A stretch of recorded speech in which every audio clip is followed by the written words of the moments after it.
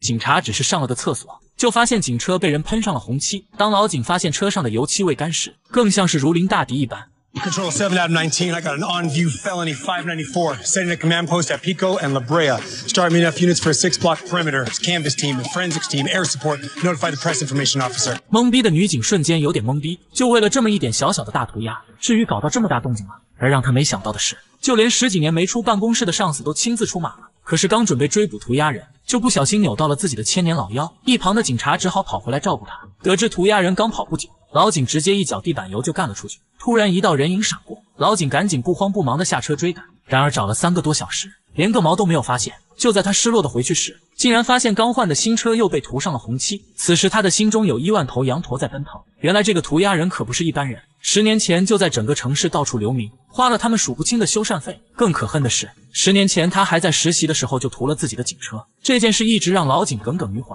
就在这时，他们收到一起坠楼事故。一年后，两人火速赶到了现场。就在老警询问坠落原因的时候，女警让他朝上面看看，上面竟然是一个没完成的涂鸦。眼前的女人竟然就是自己苦苦追捕的涂鸦人，真是得来全不费功夫啊！紧接着又一个案件发生了，这条女人大喊着救命，说她的两个儿子疯了，他们从网上买了两件防弹背心，非要试试效果如何。此时两人正拿着枪指着对方，警察还没来得及阻止，两人就纷纷倒在了地上。在确认两人丢掉武器之后，警察立马上前拉起了两人。结果弟弟突然感觉到了不对劲，女警膀胱一扫。发现他的身上被打出了一个小小的大窟窿，然而哥哥并不在意他的伤势，反而表示非要给卖家一个差评。这边才刚刚处理完，他们就在路边发现了一辆可疑车辆，不仅车玻璃被人打碎了，周围还满是血迹。两人顺着血迹一路寻找，果然在草丛中发现了一个受伤的大爷。大爷表示袭击他的男人就在旁边的屋子里，就是不知道有没有来得及跑路。警察二话不说就冲了过去，但是女人表示人早已经跑了。女警让他打电话给男人，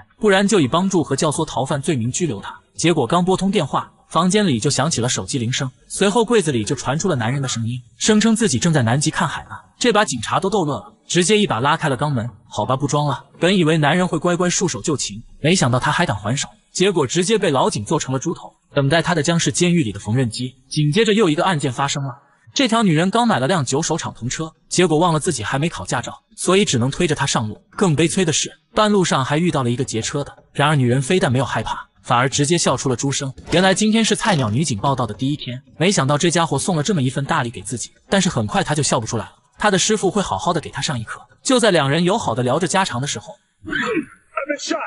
Where are you, Boot? What? I'm bleeding to death. You have to call for help. Where are you? Where are you? Um. Now I'm dead. It's your fault. Get out.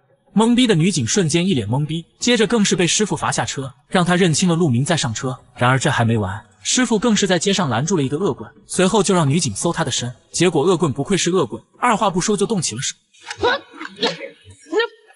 好在女警也不是来玩的，三下五除四的功夫就将恶棍撂倒在地。然而遇到这样的师傅，对他的折磨才是刚刚开始。不要钱的小心心记得点一下哦，我们下期再见。